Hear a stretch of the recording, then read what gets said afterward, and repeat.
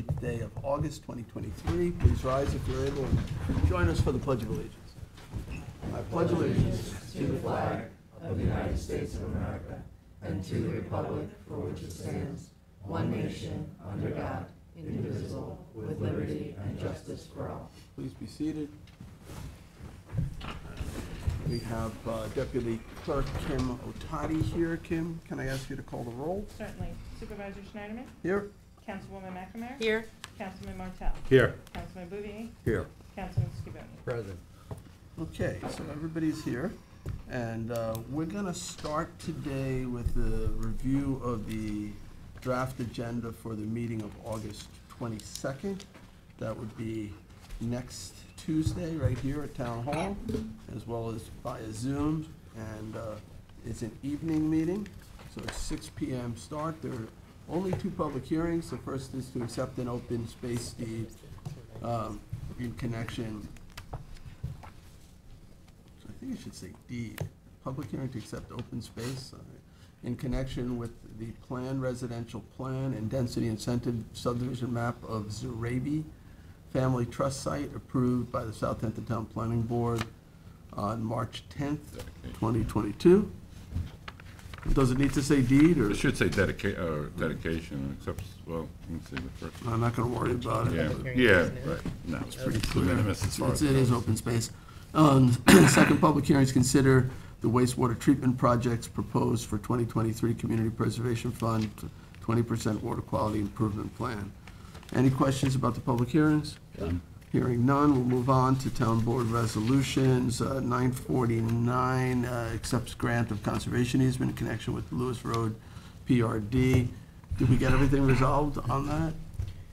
We're good? Development rights, right? We were going with the, Yeah, that's different. than- Conservation easement. that's yeah. Right. I just want, yeah, there was some Okay. questions about tax maps and stuff, so. right, right. Um, nine, uh, Cindy, you're next. Nine fifty of twenty twenty-three, accept deeds of dedication in connection with the Lewis Road PRD. Nine ninety-six, Nine ninety-six or nine sixty-six? nine sixty-six, authorize supervisor to sign contract with EV Connect for charging station management system at Ponquogue Beach. We sorted that out too with, Yes. with the Yes. Parks Department? Okay, perfect. Um, forty-four oh one ten, authorized extension of groundwater monitoring agreement for the Lewis Road PRD Golf Course East Quad. Execution of it. Um, four-four oh one six, authorized purchase and installation of roofing products and services from Roof Services of New York with Tecta America Company LLC using Omnia Partners contract. 44013, authorized supervisor to execute a contract with First Coastal Corporation for professional consulting services as it relates to the North Sea Beach Colony Beach Erosion Control District Nourishment Project pursuant to Town Law 202B. Cindy? Four four zero four eight, authorized supervisor to sign a contract with State University of New York at Stony Brook School of Health Professions. 43988 authorizes the supervisor to execute a contract with Lewis K. McLean Associates, P.C., for professional services related to improvements at Red Creek Park in Hampton Bays. 44015, declare item surplus and authorize disposal of vehicles. 44014, recall and amend Resolution 23-2023-833, authorize supervisor to sign agreement to lease the premises known as 271 Flanders Road, Riverside, New York, to Long Island Head Start Development Services, Inc., and to the Children's Museum of the East End. 44043 is amending the 23 budget for various departments. 44005 authorizes the town to reimburse NYMIR the deductible for bodily injury and property damage claims. Cindy? Four four zero zero four, waive a portion of the showmobile fees for the San Gennaro Feast of the Hamptons. Um, Anybody else co-sponsoring that one? Yeah, I'll, I'll go on as a co-sponsor on that. Do you have to recuse yourself on that? Okay. Uh, 44057 uh, appoints Alexander Sikorsky to Animal Control Officer One position in Public Safety. 44056 appoints Dana Padone to Animal Control Officer, one position in Public Safety, 43642.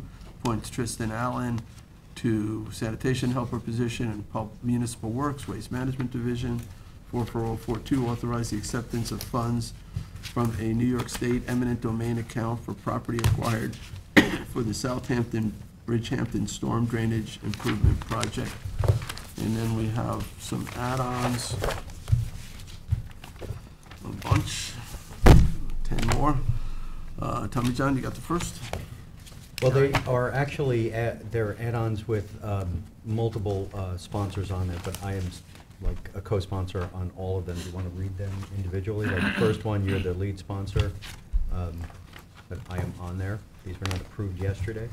Um, All right, so So- I'll read the first. uh, And then John is the lead sponsor on the Oh, second. so you just want to go by the... uh, Yeah, we'll go okay, by individually. the- All right, so 43876 elects to consider formal zone change from CR 200 to multifamily to facilitate development of 34 units of affordable rental housing at 1100 Majors Path North. See, weren't we waiting on some We, comment? they did a, they did a whole presentation with the CAC, it was a two-hour presentation.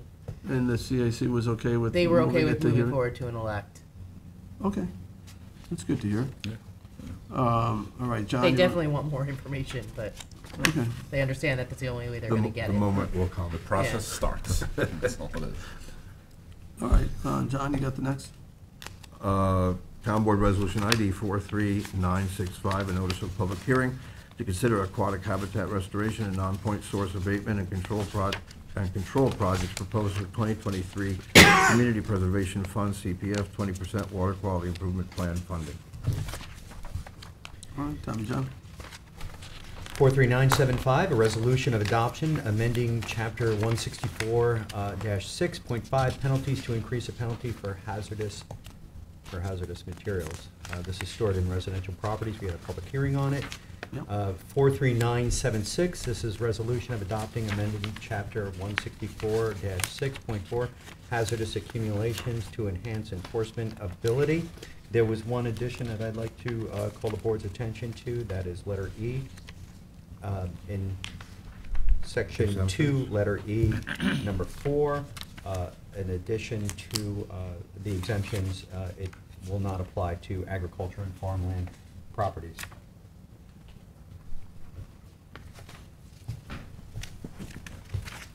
So you're adding, that's not in this, but you're adding that? Uh, That's an exemption. It's, it was added to it as an exemption. Yeah, For the, for the storage and accumulation of, yeah. right. Right. So farms are Yep, Gonna be they're gonna exempt. be storing some, Yeah, Oh, that's the number four, exemption number four. horse manure or whatever. This section shall not apply to agriculture and farmland properties. Right. Right. The Fourth exemption, okay. nitrates and so Okay. forth. Okay. All right, hey, John, you have the next one? Uh, Town Board, am I on the right one? Town Board Resolution ID 44009, the 2023 second notice to bidders for Tiana Life Saving Station restoration. 44012, this is to amend the 2023 Department of Land Management Building and Zoning Commercial Fee Schedule. This is to add a charge for EV charging stations. Yeah, I should be added to that. Kim, you got that? Got it. John? 44017, authorize a partial waiver for fire marshal fees for the 2023 Hampton Classic. And Town Board Resolution ID 44018, authorized partial waiver of police fees for the 2023 Classic, Hampton Classic Horse Show. ID number 440, Oh, Wait, one second, Can I, Wasn't can I there- go on as co-sponsors on both of those? Uh, um, 44017 and 44018. Got it. All right, go ahead, Tommy John. 44053, to authorize supervisor to exec- execute a computer use agreement with M1 Security Solutions in furtherance of the professional services consulting contract.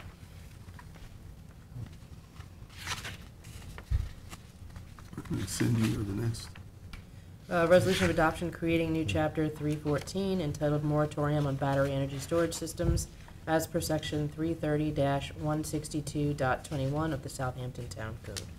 Can we go now, can I be the lead sponsor on this one? Sure. As I was with the public hearing?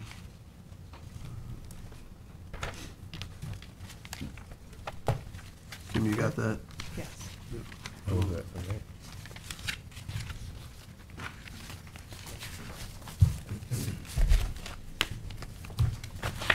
Any questions on any of those?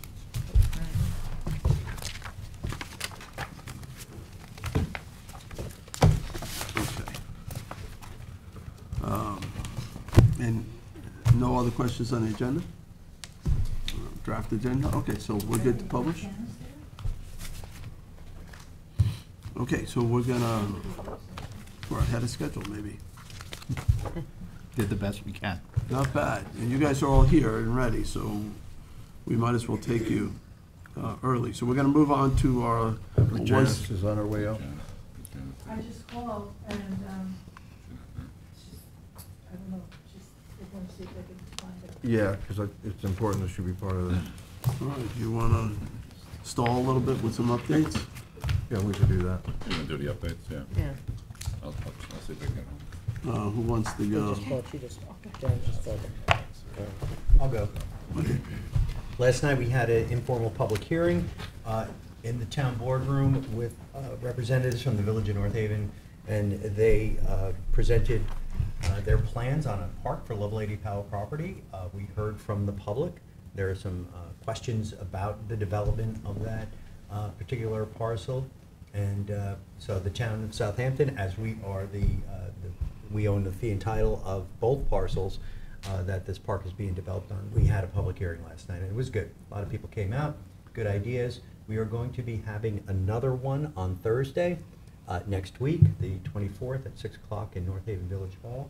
And then the Village of North Haven is going to adopt, or, or they're going to go into their hearing in their processes. So it's an interesting way that the two municipalities work together to develop this park over there. Anyone else?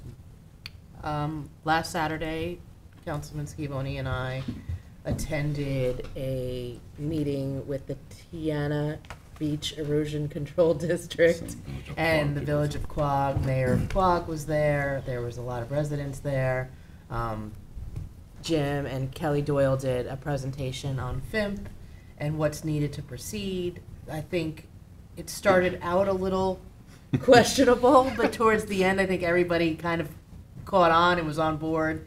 And it got to the point where they said, well, wait a second, you need everybody to sign up before we can proceed. And we said, yes. And they said, well, are you gonna have a list of who the holdouts are? Because I think they're ready to like knock on doors to make it happen. Yeah. But um, it was very, it was very informative. Um, Aram Terchunian was there as well, went through the whole, whole program and the plan and answered a lot of questions that people had, and I think alleviated a lot of concerns that people had. Good. Um, and, you know, it was a, it was a very worthwhile, very well-attended event. It was a nice arc of realization. Yeah. I think Yeah. folks You could see pretty- it kind of, Yeah, pretty savvy group. They know that this Yeah. is to their uh, benefit. to- Yeah, these are get all this done. oceanfront. And all of ours, Yeah, really. these are all oceanfront property owners, so Yeah. they know. uh, Jim, when do, when are we scheduled to actually get to sand now? Uh, right now, i it's more, it's, it's more like twenty twenty-five, fall of twenty twenty-five, but i- what we talked about was if we do acquire the easements, and they can't, US, the Army Corps cannot start the project until we, all the easements are obtained. So that's, was kind of the point of the conversation on Saturday morning was if, if we get full cooperation by all the property owners, if we get the easements signed earlier, we may be able to move it up, um, depending on the availability of the core, of the core and the dredging. Because originally, they were talking about more uh, in the 2024, late 2024 uh, fall. They try to do the work, then they, obviously, they don't want to do the work during the summertime, so it'll either be scheduled for, you know, at the earliest, it would be the fall of 2024, if somehow we were able to obtain all the easements. And the only way we're going to do that is if we get voluntary um, Compliance. execution by, all- right, compliance by everybody. Um, If not, then we're talking prob- at this point, fall of 2025. You know, if we have to go through eminent domain, you know, the problem we have is that we have one judge in Suffolk County who handles all the eminent domain proceedings, and he also has a matrimonial calendar, you know, Judge Leo, so he's very busy, so, um, you know, that, that'll, that'll just take time. Um, and But it's, uh, like Kelly did a great job in the presentation Saturday morning, she was really terrific, and Adam was, uh, we kind of, the three of us kind of, you know, played off each other a little bit, and I thought, you know, It was good. handled a lot of the Well, questions. Originally, we had the pressure that we were holding up Montauk, right? Downtown Montauk, which Yeah, is in no. desperate need. So they've peeled that off. Now, that's Yeah. actually happening potentially this year. Mhm. In That's the, it, in the right. winter of this year. Right. I was with the Army Corps folks yesterday. Mhm. and, uh, That's Yeah. really exciting. Right, they had a very, s- you know, small amount of easements to obtain, but yeah, sure. and- They were able to and- tie in with the Fi- FIMI, Right, the Fire Island Mm. Moriches Inlet Mhm. project, so they, when that ocean dredge comes out, they're gonna dispatch it to Montauk Yeah. and do the Montauk piece. right. And, So it's no longer, they're not being held up by us. right, because Yeah, one of the questions from, They from one have of the. easements already there. They, yeah. Yeah. There's Yeah, some- there was a small amount. A little bit of work they used. still have to do there, but they're expected to have everything in place for, A lot of it is public This lands winter. that were, you know, they're involved there, I believe, but.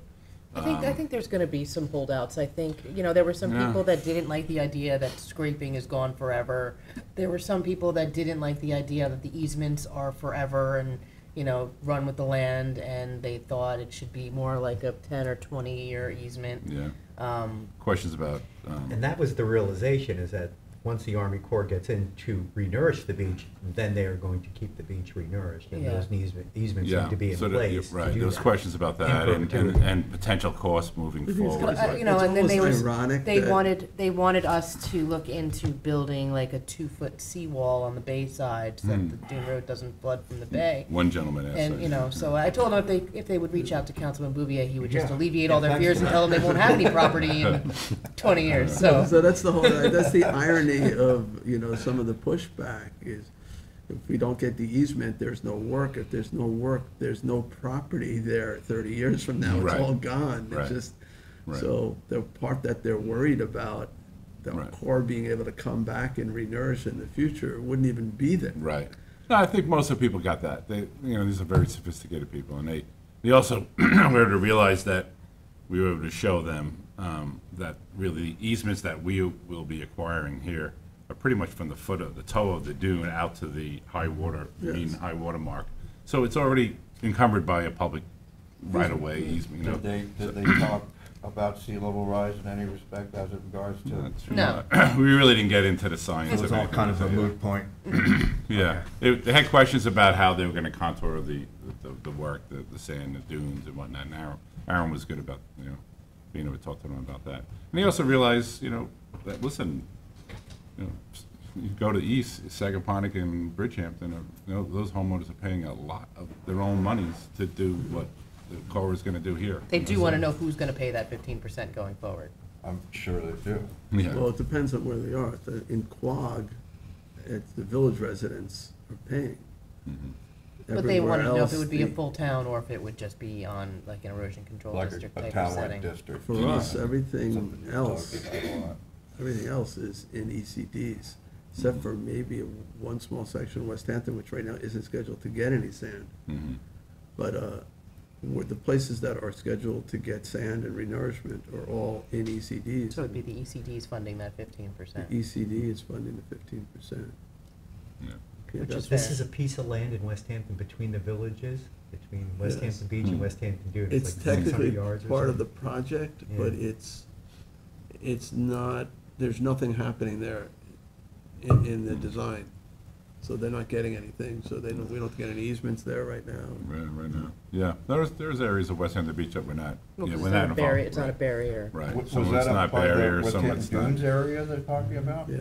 Yeah, well, Between you know, the- that, the two that used to be villages. a, that was an inlet at one Yeah, time. well, that's and all. They kept filling that- it in every year. Right, that beach there, there, because of the breach and all that, the beach is, is completely owned by between the the two state of New villages. York. Yeah, Pikes That, Inlet. that, that whole beach in West Hampton Beach Pikes Dunes Beach. is all state of New York, so they It was can, Pikes Inlet at the time, they don't need any, they don't need to acquire easements after the there. nineties. it's worth looking into the legal side of that because they established West Hampton Dunes as a result of, of. Of the- of the breach. Of monies to repair Sure. and to restore that area. Right, So, uh, and I don't know where that actually ended up, but, you know, I know they benefited significantly from that. right, oh, sure. But I don't know what the. Well, as I say, the, the state of New York owns all the beachfront there now, so they don't need, if they are to do any work there, they don't need to acquire easements. It's mm-hmm. already there. All right, so you guys, we've stalled longer than we needed to. We have Janice here. So, uh, Sorry, there was an accident on the highway. Yeah, jeez. what happened? No. There was an accident on County Road Oh, no. Oh, I just missed it. But I'm glad you're okay. thirty. Yeah, I, I think it's okay.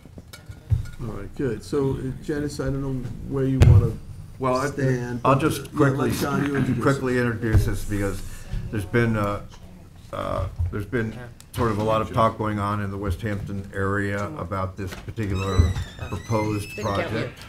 And uh, I, kind of rumor mill sort of sprung up, and so I asked Janice if you guys could come down here and sort of describe exactly what it is that, that's going on there. Um, And we'll take it from there and where, where you are and describe what you're proposing. Yes, so the applicants, uh, you may recall, and good morning to everyone, thank you for having me. Um, They had, we had a prior work session a while ago, uh, when the new owners came in and said, what would you like to see here? What, do- what, do you know, are there any opportunities for us to, you know, do anything here? Um, so we, we did mull around, actually, you may recall, like doing an opportunity zoning for these sand mines to move out of mining operations into different uses that are sustainable. So we, um, this particular property is, um, in the core of the Pine Barrens though, so it's a different, uh, animal.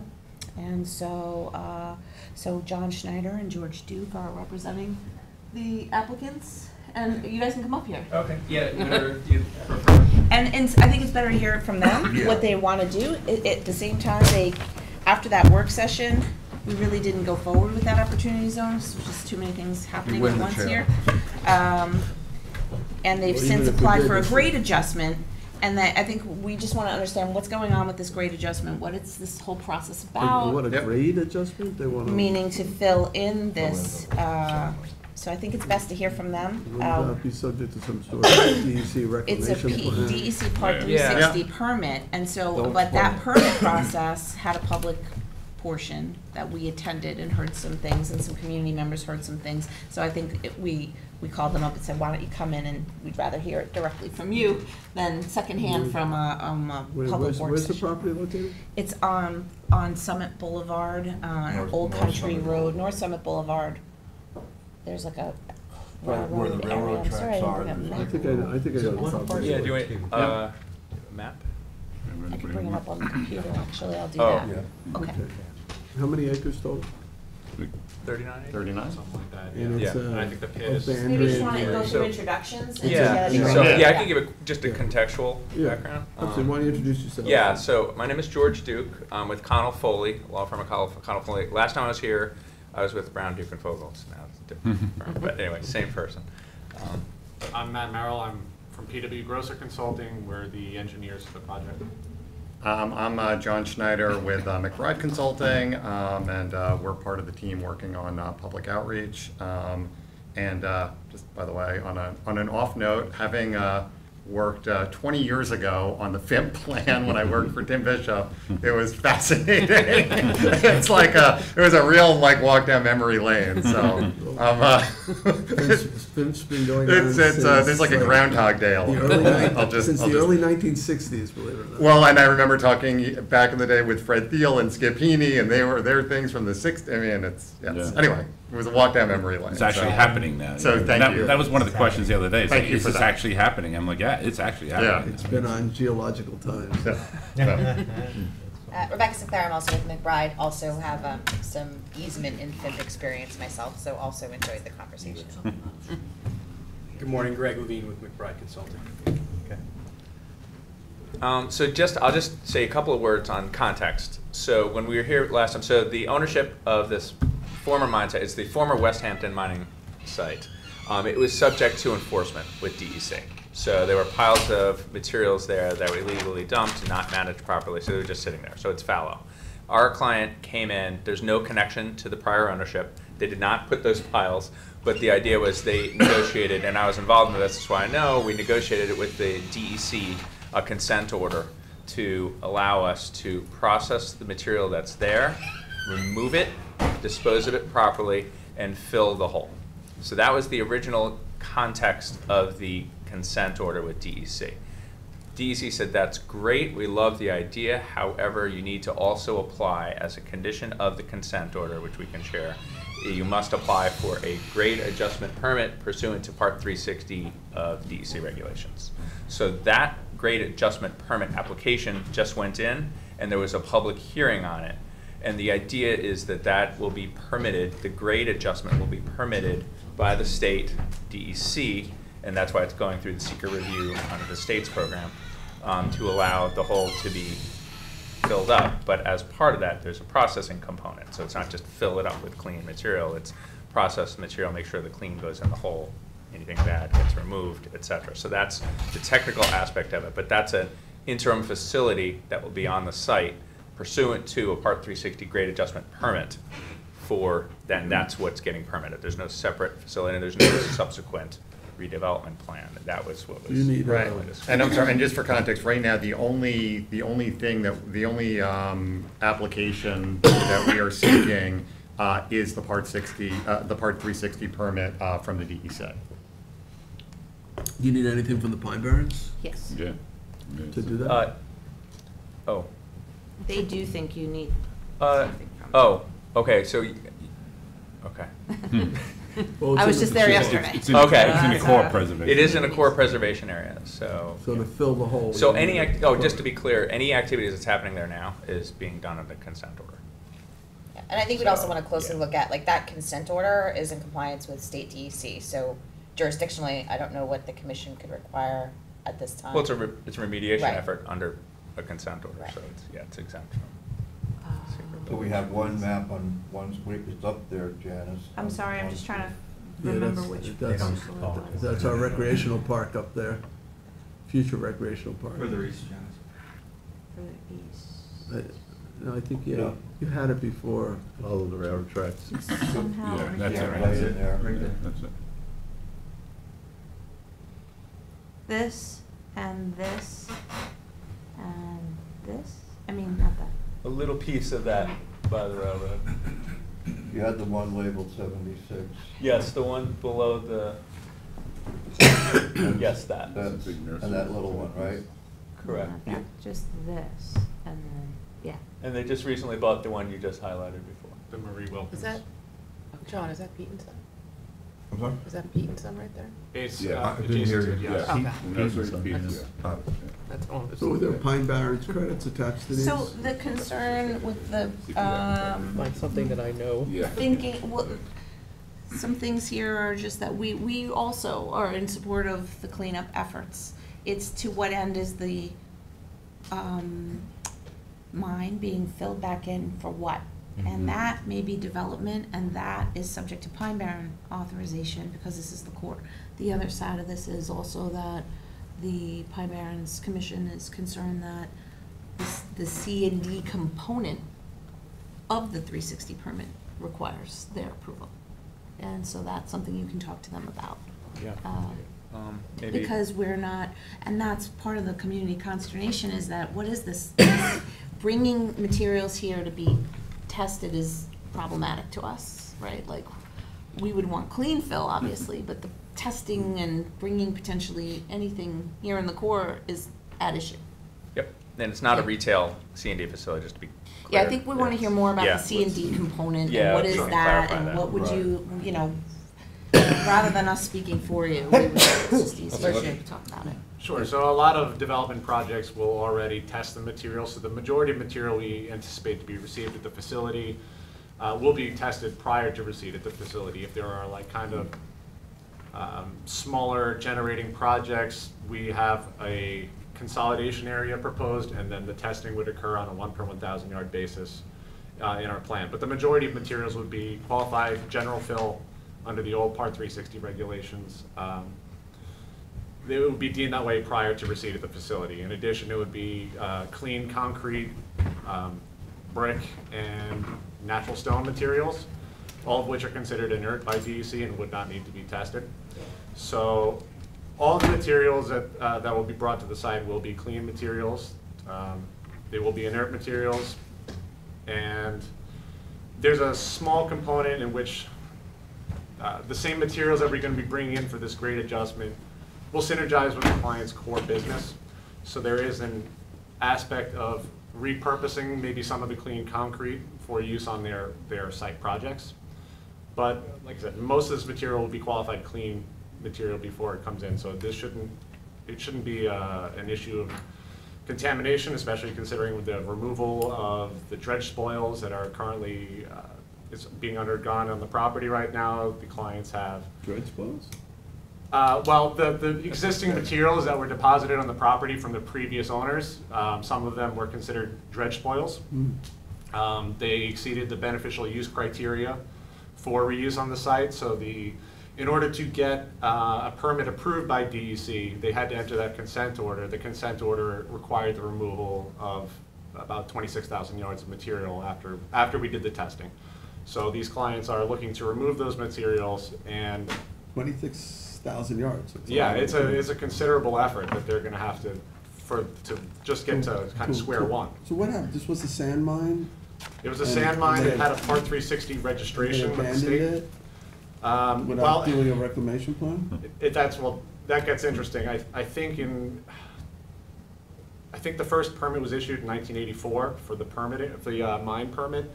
But as of right now, there was never, the reclamation was never complete. So it's still technically an active sand mine until the reclamation is complete, and this would be part of that reclamation. But the prior owners but the, got bud determinations, accepted material, and never handled it and got rid of it the way they were supposed to pursuant to the bud. So hmm. it's out there. It's still being viewed as an active sand mine? It, it, well, it hadn't, has not been reclaimed. It has no permits. It has no permit, but it hasn't been reclaimed, so if you were to look at like the DEC database, it would still be displayed on like the information mapper as an active sand mine because it hasn't been formally reclaimed. When was the last time it was active? When was the last time it was active? I think, uh, I mean, the consent order was two thousand nine, so it's, it's probably been Okay. thirteen Yeah, years. know. Yeah, So it's- what they've been So you can't there. mine sand there because you have no permit. No, that's not- mine sand. yeah, that's not So the- you're- that's not You're consent. basically trying to finish a reclamation project with the DEC, and then with the end goal of what? Right now, there's no development proposed. So all the other, Well, you pla- the wouldn't reason go- it you sat wouldn't fallow want- for you years, would- because everybody looked to try to get the reserves. Everybody else looked at it and said, oh, here's a mine, there's maybe some reserves there, let's try and get it, sell the reserves to pay for the reclamation, right? That, that's, that was the game, and that's why it didn't work. Our client doesn't do that. They're not mining people, they're land earth movers, so they have a lot of material that's clean that they can't find a home for. So they internally in their business can make an economic model where they can have, they have a home for a lot of material. And that's different than a lot of the other economic, you know, they were looking at it like, okay, how many thousand cubic yards of sand are left, and maybe we can sell that, and that's not their business model. So we want to fill That's what's this, this big hole. Fill the with hole, material because they can make it work, because that's part of their business, their But then earth at the, movers. and what's the end of, after? They don't it's have, right now, it's zoned residential, so Well, it's, It's in the core. it's in the core preservation, And and are are there They don't have- endurance credits intact on this? Yes, there would be development rights. There's Um, development rights. I mean, you know, P, primary credits So would the have pr- to be Typically, the property issued. would not be considered developable, it's in the core. Right. Um, It has transferable rights. yeah, we haven't looked at, you know, the. Somewhere else, but extent. normally, these properties would then revert to some sort of natural state. Um, Usually you sort of stabilize the slopes, right, have a replanting or revegetation, and what's the usual grade adjustment with a mine? Is it, they vary across the Whatever board, or? plan- Yeah, whatever the Yeah. So rec your plan grade is. adjustment is, is how much and, and the, can you describe that, like the extent of what you're looking to? And you're not do? trying to turn it into a transfer station? We No. can't, yeah, we No. can't, it's Okay. not even, Yeah, I don't know why I. The question I had. uh, The along transfer with that, station's down the road, Do yeah. you anticipate any processing?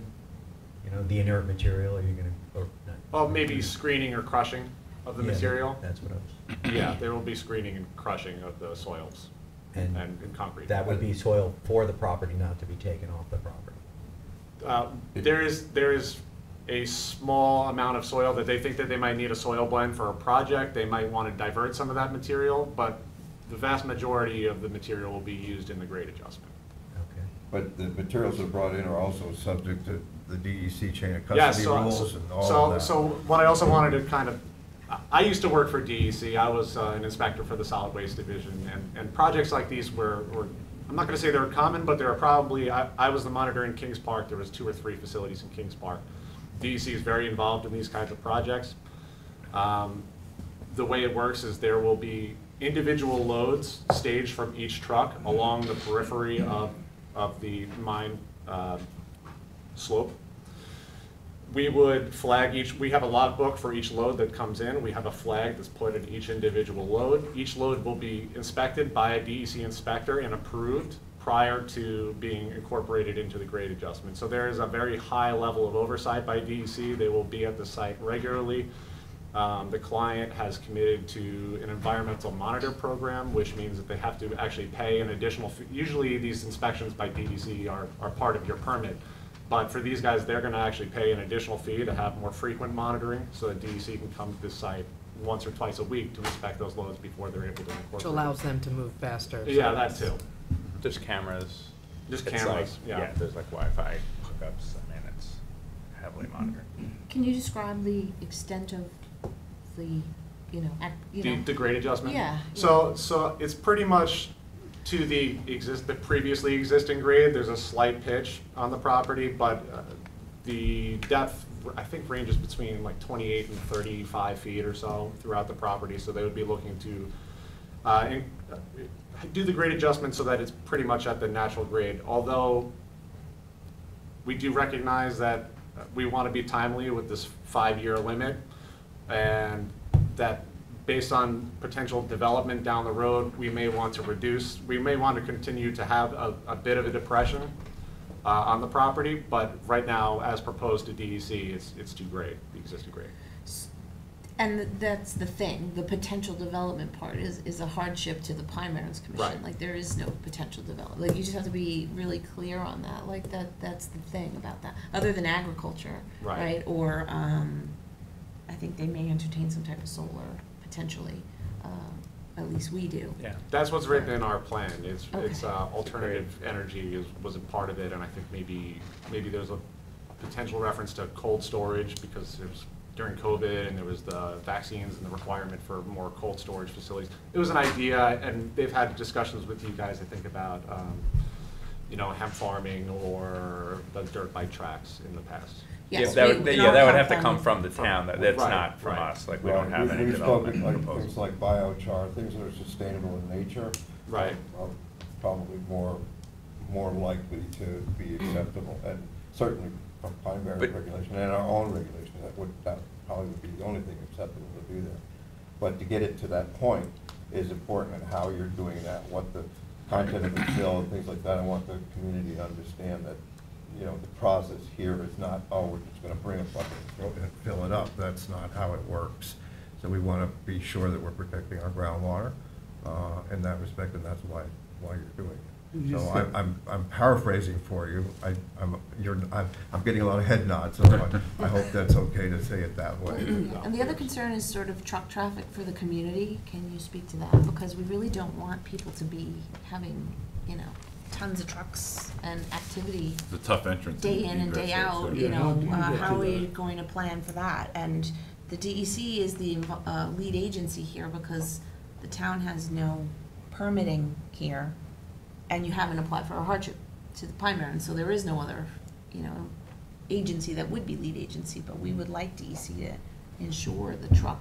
So we took a harder look at that, Okay. and Matt can speak to that, or, I mean, we have a letter from VHB. Right, I was gonna say, um, there was a recent study performed by VHB comparing it to background traffic levels on, on uh, Old Country Road, and the determination was, I think it was, was it less than a? It's less than one percent. We'll share you the letter. We were actually submitting it today. Yeah. So we had uh, VHB, the traffic consultant, look at all the background traffic, look what this incremental increase, even assuming, y- y- when you're doing the SEQR review, you have to assume the worst, right? Mhm. We're assuming the most traffic, the most use.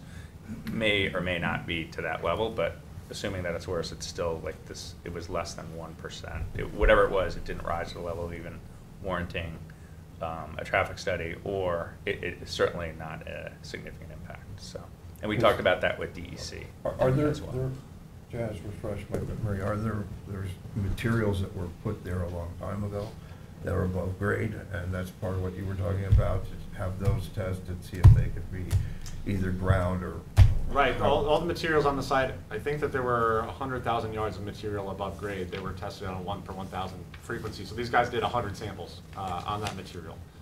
part of what was, we had to do when we were brought onto the team was analyze that information, identify the potentially contaminated materials or, or that exceed the beneficial use criteria. Um, and then we, we got a plan approved by DEC to remove, uh, by drawing out the hotspots and based on visual confirmation in the field. Um, and then place that material in what we call the consolidation staging area. Essentially, they made a concrete tipping bunker and put all that material in there, and they're keeping that material covered until, um, well, they have to remove it at a frequency that's prescribed in the consent order with DEC. I believe it's, at this point, I don't know if it's two fifty a week or five hundred a week, but. um, Oh, it's in the. So uh, uh, It's in the the, order. the- the vision is not trucks coming in and out on a potential. No, they want to consolidate that, so, so when this operation becomes fully operational, they're gonna be bringing the material in, they're gonna be using those same trucks, loading the materials that were uh, impacted from, in, in that consolidation area, put into the trucks and sent to the disposal facility. So there's only gonna be the trucks coming in with the clean beneficial use materials and coming out with the waste. So, Jazz, I have a question for you. So we really have, there's no permits needed from us. We really have no say in this. Like, you're involving us to let us know what's going on at the site, pretty much. So, I mean, I'm just asking this question for the, for the purpose of, if the community says to us, we don't want this, we're not permitting anything. Like, Well, it's that's not. the thing, right? So when someone comes to us with an, uh, uh, so ordered, you know, consent order from a judge. it's not our project. We typically say, okay, you know, have at it. Uh, they came to us about a temporary trailer. Um, we don't provide building permits for temporary trailers. We told them to go to the health department, so that is important, that that is all insured to be correct. Um, the, a building permit for a temp, for a temporary trailer, we don't do. It is a nice one, I saw a picture and saw it, um, but, uh, because that would be development, uh, and the Pine Barrens would be interested in that.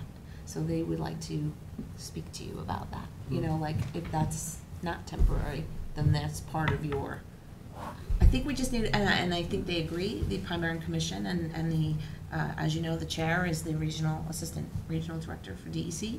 Is he's gonna look at that consent order and how that jives with the hardship for, for the Pine Barrens, so that both of those state agencies are on the same page, you know, how to handle that.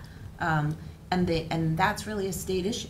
So for us, we, we, we're kinda, we can't do anything because it's the core, so we don't have any ability to like, require a site plan or, mm-hmm. you know, things along those lines are not I just want that clear to the community, so they're not Yeah. coming to us saying, we don't want this in our neighborhood, stop it. Like, there's nothing for us Right, to so stop. This is a, a state level initiative to effectuate a cleanup, but it is concerning in and of, we don't want, to what end, we wanna understand what that is. If Right. you are having an end in mind, then you should make that hardship permit, and we should all be aware of what that is, so everybody knows what's what. Um, if there is no end, and it's just all, the end is a reclamation, and that's the end of it, then That's that's, the that's end. what We, you're we telling us. can't, um, and, and just so you know, and I'm sorry to interrupt you, but Sure, no, the no. issues you're raising were raised by the DEC Good. on our call this week. So those, so that's actually part of this process, so we're gonna communicate what we learned here with DEC, make sure, because the issue is, is there another Part three sixty facilities? Is there a C and D facility? Is this gonna be a standalone facility? And that's not the model. That's just not the model. And that's what I think what everybody's keying Yeah, in we on. don't want Yeah. this to be a new business It's like, use oh, that and goes 20 on. years There's an, there's an fact. end date, like, there's, it's a Yeah. five-year, There's it's a, done. it's a, right. It's there's- not, these permits This are is for a terms. reclamation Right, permit. it's a- So right, it's a mines termed in permit. DEC parlance, they have, a- there's a life of a mine. Right. At the end of the life is supposed to be reclamation. Now, the prior owner didn't do the reclamation plan, so you're This doing works that. for I this think the client. town would likely view that as the mine is being closed. The mine is being terminated and reclaimed, and that's all in the DEC's purview. What happens after it's been reclaimed, it's in the Pine Barrens core, and you guys need to look at what those hardship standards are. They're not going to be easy to get a different use on that property, but I'm not saying impossible, but it, but certainly challenging. Well, I- I just, just to clarify again, and thank you, Cindy, because it- the community is one of the reasons I asked for you guys to be here, because there was a lot of confusion. Um, To me, what you're doing is, there's a sand mine that's not an operational sand mine, but it, it was at one time, it's been sitting there for a long time. Uh, It was a, it was a dump site from the past with materials that we haven't identified. It's been there for a long time. This is an opportunity for the DEC to come do its job, uh, which is to look at those materials, identify what isn't, shouldn't be there and take it away, and what should be there, put it back to help to, to reclaim the mine, and not, it's not to reclaim it as an operational mine, it's basically to shut it down, turn it back into as what it was originally as best as possible, reclaim the land and take away some of these pollutants that have been sitting there for years and years and years and years.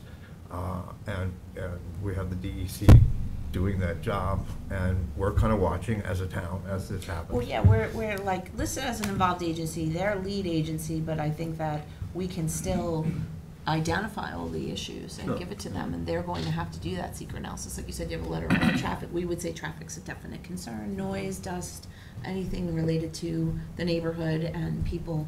How is that um, property access that's right up against the so railroad that- tracks? that- Yeah. Can you get the truck, how do you get the trucks in and out? Same way they've been going for whatever, you know. Is there an however- access road Yeah, there's an access There's a road. crossing. and- a- along the railroad tracks, or? It's, it- no. Goes a little north of the- Parallel to the railroad tracks. Yeah. You cross the tracks and then you kind of go through the And we- woods a little bit. Yeah, and we know, I mean, and we know a neighbor complaining. you Yeah, know. there's a, um, yeah, we, we all have received those Yeah. documents, Yeah. and, um, Mr. Gaza has expressed his, uh, concerns, and he is that, uh, you know, there's some purported access issues, so. Yep. uh, Yeah, I, I mean, I, I don't have a final answer. We're drafting an opinion and, you know, we'll clarify. I mean, uh, certainly we believe we have access. Um, it's not just our site that has access over that same road. It- There's a residence that also has access. Right, to and it would be the the DEC Yeah. requiring that as well, Yeah. so Yep. we're back to that. Yep, I just don't have a specific answer for you now. I mean, obviously, our position is we certainly have access. Well, if you're gonna be bringing in all those trucks of Yeah. material in and out. And, and what Right. is that schedule in and out? You know, we keep hearing like it's a lot, but then you just said it's not. Is, Well, we what have the, the, yeah, uh, we have the specifics. yeah, Like a number of yeah, trucks? like, you know, do you have, and Yeah, does so it have to be so many? Like, what's, why is it, I heard a lot, but maybe it's not that much, so you So tell it's, us. it's, what we propose is an average of thirty-five trucks per day, which is three and a half trucks an hour over the ten-hour working day. Um, the maximum we propose at the site would be fifty trucks, fifty trucks being five trucks an hour. Um, no. That, I, I don't feel like that's, as, as evidenced by the VHB traffic study, it's, it's not really a significant impact to the community as defined by, by the New York State DEC standards that are, you know, in the EAF and, but I, I, you know, I, I don't know how to kind of explain if it's thirty-five trucks, it, it, to So how long of a me, period? it's, it's going to be over the five-year permit, so it would So be, for five years, thirty trucks a day? yeah. I live on a road with an active mine, and I can tell you that the worst part is when they come out full, and there will be no trucks coming out full from the site, I'm imagining. Well, The They go initial part, when they're removing the Oh, when they're the bad removing, but stuff. then when they're- But when they're that's a bringing limited in, amount, but there will be. They won't be, but, because, I mean, that's honestly, that's the worst part, is when you get stuck behind a full truck trying to get up to speed. Other than that, So mostly there'll be full trucks coming in, right? You're bringing material in. Yes. But then you'd be. But then you're gonna be removing the waste over the, I think it's only structured over less than two years to remove the twenty-six thousand yards of material. I, wa- I wanna say it's about a year and a half. So there would only be waste coming out of the facility for the first year and a half to remove the, um, potentially contaminated material or the, And where's that material gonna end up? um, it's going to go to an authorized facility. I, what we've been, who we've been working with is Posillico. They have a wash plant over in Farmingdale. Um, they can accept materials that exceed beneficial use criteria. Essentially what they do is, is wash away the silts and clays and have clean sand residuals, and then they reuse that in their concrete production. Okay, so twenty-six thousand yards is coming out, and twenty-six thousand plus yards is going in? Uh, the number over the five years will be about eight hundred thousand cubic yards. Coming in. Coming in to, to To fill fill the the To fill the hole, yeah. Wow, hmm. that's a lot of material. And so this company that you're working for has that much material, Yeah. clean material that it Well, wants to get rid of? Over, These- over they- projects, Yeah, I mean, not over like one projects. They don't, time. it's not like right now they have that amount of material, but, you know, they have told told me that on several occasions, somebody approaches them, I have fifty thousand yards of clean fill, I, I wanna be able to take it somewhere, do you have a use for it? And We don't have the permit yet, so we can't accept that material.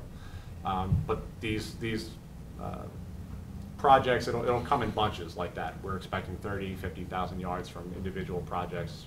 Um, Tested previously, though, Yes, not yes. being brought and decided, oh, wait, this is actually contaminated, we gotta bring it out. No. No, the- Okay. of that scale, generally, I Chain of mean, custody.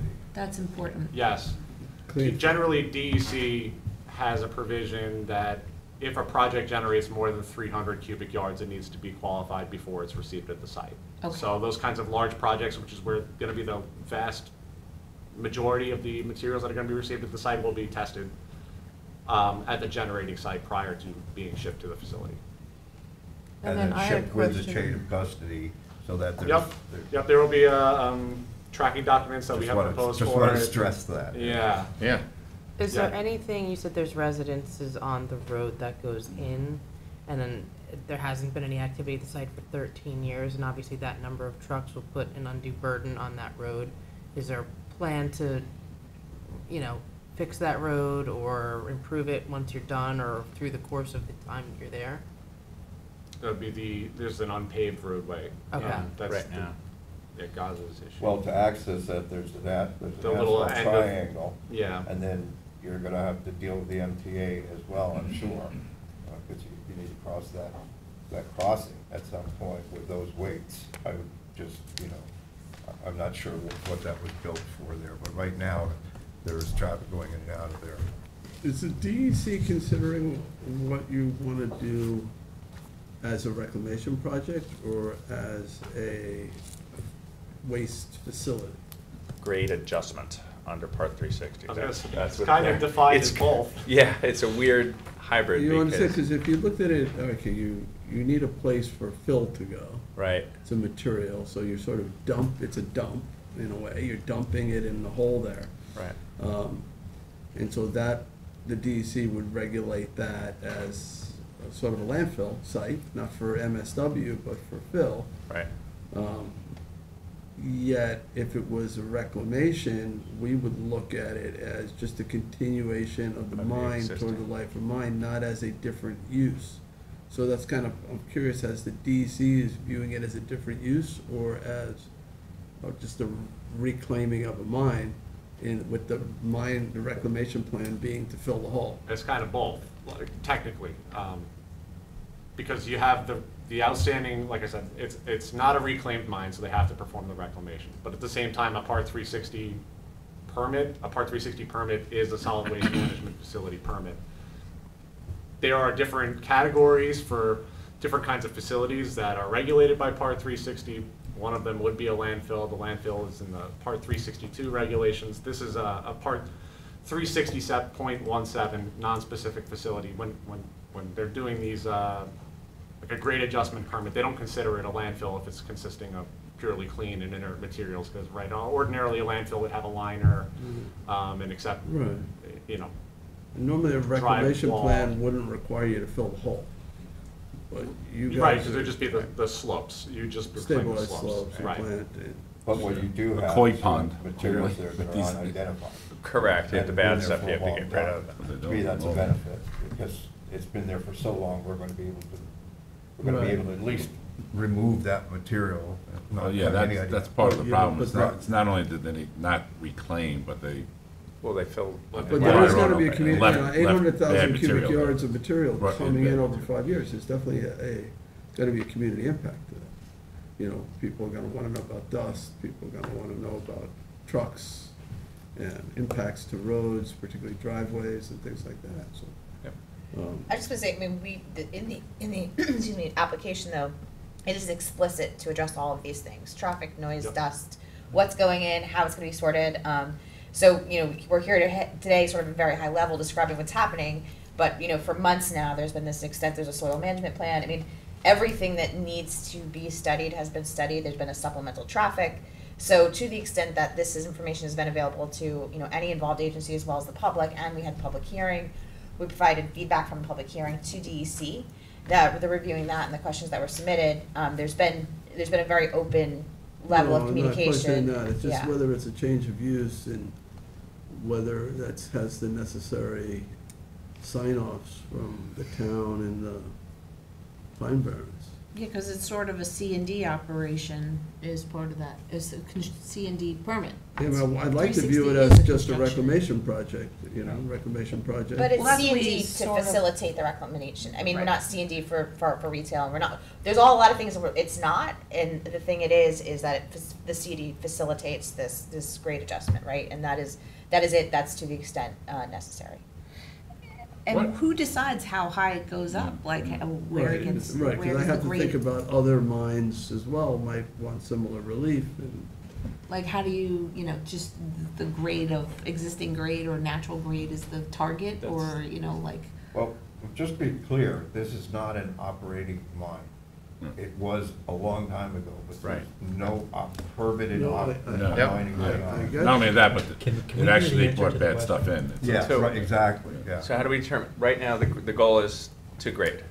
To That's- grade, and that's right. based on, there's, there's two different heights on each side of the pit. I believe on one side, it's like forty-three feet AMSL, and on the other side, it's forty-one. So depending on, on where we're filling to, it's, it's varying from thirty-three to forty-one, and there will be just a consistent grade that goes across, so that you're, you're matching the existing grades at the top of, uh, you know, the mine pit. And that's part of your permit with the DEC? Yes, yeah. What's the benefit of, of bringing it up to grade? What's the, uh, if you're not, if you They have a don't lot know of what your use Well, that's, we have material, that's the business model, I mean, we're not, they're not hiding that at all, that's the business model that works. If it was trying to get, and scavenge the remaining res- reserves, that, obviously that model didn't work, and that's why it sat there with the contaminated material for, you know, years. So this model it's works. sort of the opposite of mining. It's, it really is, and that's why you've You seen. know, unmining. I, I know that several other, um, mining operators had been through that site several times, and it just never could make it financially feasible. what if So- someone said, well, we only want you to fill it up halfway, or something Who like that? I mean, I think they're open to Whoever. it, you know what I mean? If, if, if there was an opportunity, right now, the goal is that's their home for it, that's how they make the financial aspects of this work. If the town came in and said, okay, we have, we're gonna rezone, we're gonna do something else, I think they're open to other recommendations, but that's not permissible right now, you know? So certainly open to. So the plan right now Well, is just to get it to grade and can't let it go back to. Yeah, we're natural constrained grade. by what's permitted, you know, Right. so. if- And again, right now, the project is the project. All it is, is it's reclamation, it's bringing it to grade, and But- there really is no, Yeah, what we- comes we've next. talked There's no about- second project. There's There's no no second, second there's no project. second project. At the end of this regrading plan, did the DEC signing off as that being reclaimed at that point? Yeah, not reclaimed, uh, the permit would be closed, right? Well, the Permit permit, the solid waste management facility will be closed, but also the. Would they the mining- delist, I guess you're right. Yeah, it'll be delisted. I So would think. they would accept it Yeah. as part of the reclamation of the land. So it could be Yeah. used, if you can get permits to do something else, it- at that point, could be used for something else. Yes. It'll be- Hypothetically. It'll be grass surface at the end? Uh, That wasn't explicitly written in the plan, but it can certainly be. Well, the core vegetation. of Pine Barrens, they would want a plan, that's the other side of this. Planting, You yeah. know, they really would wanna be involved in the, uh, Topsoil? what the Yeah. revegetation, uh, goals are there. Yeah. And, Yep. and, and stormwater management. Or- There- or There's a farmed or- trough area there too, it's pretty, it's, Uh, it's kind of an interesting geo- geological. Can so- those five-year permits be extended? Yes, they, they could ordinarily. Um, It'd just be a permit renewal from DEC, which would be less restrictive. It wouldn't be another public comment per se um, in that instant, uh, instance, but it's, So then the target of that many trucks, like, why not do, you know, sort of less over time, but if you know that you can get extended, you know what I mean, period? You know what I mean, so that it's less impactful? It's gonna be supply and demand, essentially, right? Some- well, yeah, that's why we have a fifty truck peak and the thirty-five truck average, because we don't anticipate to be able to regularly receive materials on a daily basis at that level. It's going to have to come based upon, you know, they get that contract for fifty thousand yards, they're gonna bring that in no more than the fifty truck max. Not but there will- exceed, yeah. But there will be times where there might not be another generating project bringing material, and there will be kind of lapses in, in materials being received at the site. Uh, I've had some conversations with the regional attorney for DEC, but what, what is their motivation in this project? Essentially, is the removal of the contaminated soils, that's their main goal? I mean, Yeah, that. as far as regrading, is it something, the- and as far as you know, you- former employee employee there, may, and it said maybe this might be a DEC question, but regrading, is that something, is that a benefit, do they look at that as a beneficial thing, or is that just, is that more for the motivation of the, of the property owner? Um, good question. I, I don't think that there's like an explicit benefit, but you do all, I think that it also needs to be considered that when these guys are removing twenty-six thousand yards of material, I mean, a conservative estimate would be for trucking to a facility like Posillico and disposal would be a hundred dollars a ton. Right, And so these guys are gonna have to invest Right.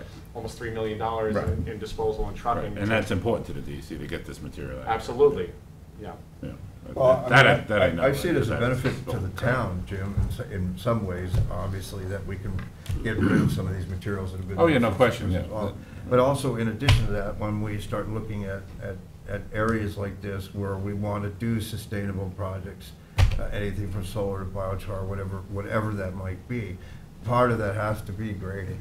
And I, Yeah, you know, okay, this right. could be a model, perhaps, to, as a Right. way to do that. Uh, Right. who And and knows? I know we've talked I'm about some thinking other end uses. We- There's no substation there, you? We did, but, and No. then we came to find it was the core, so Right, that was the right, right. You issue. talked They were about just- warehouses There, we Would looked have left it in the hole, man. We've had, we've had discussions on a lot of different end uses on this property, and then, of course, complicating it now is the fact that it's in the core. But We talked about warehouses, we talked about other, other types of When we uses, initially, well, for any sand mine, we were saying if they, we could get a path away from ATV. mining, what are legitimate uses that people need? Like a lot of uh, landscapers need yard space, a lot of people need, you know, certain different things. So we were talking about that across the board, across the town, to motivate places like Sandland or others to, to, when they're done, you know, to move to different uses.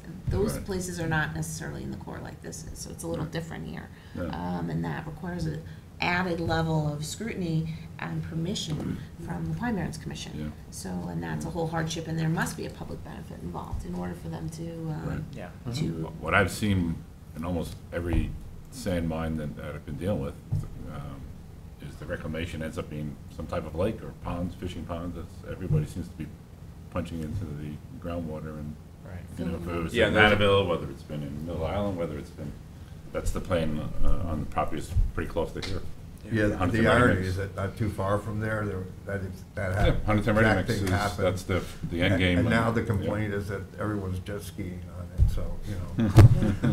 I don't think it has, it really has, I've, I haven't seen a mine that's actually fit, done yet. I've seen that there's a, there's a significant, two significant mines, one in Middle Island, one in, uh, Manorville, which they, they are lakes essentially, but they're still mining them. There's no recreational activity going on just yet, I don't, that I'm aware of. Jim, just so you know, I, I'm familiar with the facility in Riverhead. It was um, Island Water Park. It's on uh, 25.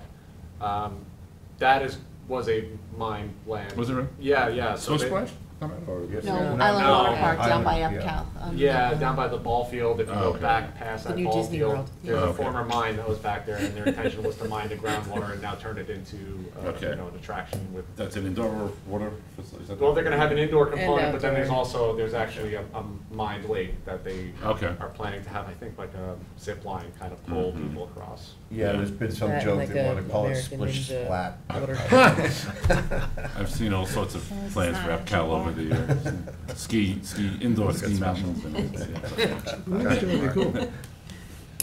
So, all right. Um, So, yeah, you know, again, you know, uh, you know, kind of appreciate, um, you know, the opportunity to come in, and again, we're, you know, uh, you know, we're trying to be, you know, as, you know, again, appreciate the opportunity to continue to talk with the town and any residents, and, you know, again, we're not, you know, we, you know, look, we get it, right? When there's, people see trucks, people, you know, people have questions, so we're, you know, we're gonna be, you know, you know, so again, appreciate the opportunity to come, present thank you information, take your questions. Uh, You know, we tried to be here as, as soon as we possibly could, um, uh, you know, because we, we want to be transparent as we go forward. If questions arise, you know, we'll certainly do our part to, uh, you know, to work with, uh, you know, not only the DEC, but, you know, everyone in the community. And, you know, if you hear of anything, you know, Bill is, you know, I think, you know, you know how to get a hold of uh, the team. uh, you know, again, we're happy to answer any questions, be out there, and, uh,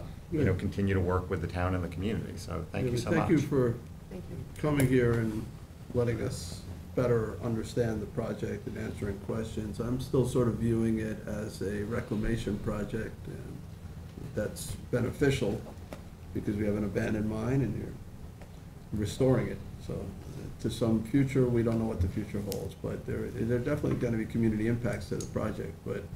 uh, DEC hasn't done a se- uh, SEQR determination yet, though, right? They have not. Okay. They, uh, we, we spoke to them last week, we talked about the traffic, is we're gonna be submitting, and we'll copy you and everything, just, so- uh, it's all public, obviously, but, um, we'll make it, fast track it, we can just copy you. Thank you. Um, but yeah, they had asked about traffic, and then we had VHB do a traffic analysis. Yeah. And So we're submitting that. So again, so to me, this is a reclamation project, it's just a Yeah. particular one that brings it up to grade, rather than creates a lake somewhere. But, uh, you know, if they're viewing it differently than that, if the town views it differently than that, you know, that could complicate things, but a- at least through the lens I'm looking at it, it just seems like an abandoned sand mine that's being restored to some more usable property, so for whatever reason, whether it's for preservation down the road or for recreation down the road, I, I don't know. We'll find it, find that out later. Yeah, we don't have any, yeah, but that's. And to, and to make sure that we can take the, the contaminated material off-site.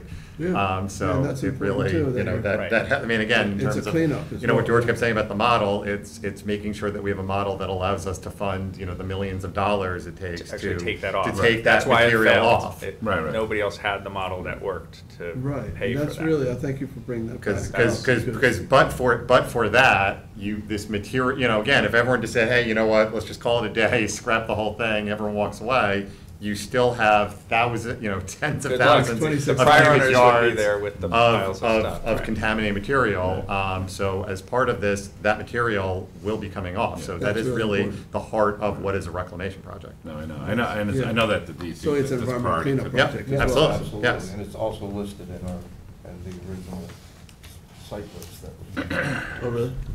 So, yeah, that's really important. Thank you for bringing that up as well. I think in as much as you can meet with the community and maybe CAC people and, and others, uh, you know, to talk through some of the Absolutely. logistics, that would be very helpful to us, right? So Double's so gonna be the remediation, monitoring of what's coming in and, you know, making sure, because we've all. been- Unfortunately, you can't use the We've all material for experienced, found. you know, not so great situations Bring it on. either. It's- Well, this is Try to connect all the extreme dots Just there. connect monitoring. It's, it's like there's Wi-Fi, there's cameras, there's, you yeah, it's that's- pretty That's gonna be the expensive. key thing, right? Um, It, it was actually an expensive. Roberto Clemente Park All right, situation. thank you. Okay, Thank thanks, you. thank you very much for your Thank you time. so much. Just sort of keep us in the loop, John. Yep, absolutely. we'll, we'll copy. We had some every- residents, I'm sure, watching, they were made aware of this today, which was helpful, I'm sure we'll have some other questions, so. Absolutely. Great, thank you. Thank you so much. Thank you, everybody. Okay. Thank you. So, Take care. any other quick updates? Because I, I have, I sort of have to run right now to another event. Yeah, two quick things. Youth Bureau has their last teen night next Wednesday uh, at Ludlam Park. If you want to uh, play basketball, have- participate in the barbecue, or even joust that night, uh, you can, you can come down, uh, grades seven through 12. Their new fall brochure is out. And last, night, uh, tonight's concert at Good Ground Park starts at 6 PM, not 7. Okay. Who's playing? Uh, Nina, et cetera. Jousting, Jousting, third. the bucket. official state sport of Maryland. Really? I thought it was the official Can't make it up. town board activity. I, I, I thought it was Monty Python, but. Oh. a whole other- So anybody, anyone, Okay, anyone stop. else? All right, I'll make a motion to end our work session, and go into executive session. Um, Second. And on acquisitions, confidential legal advice, contracts, personnel. So we have a pretty lengthy executive session agenda. Um, Seconded by Councilman Bouvier, all in favor? Aye. Okay, we're adjourned for.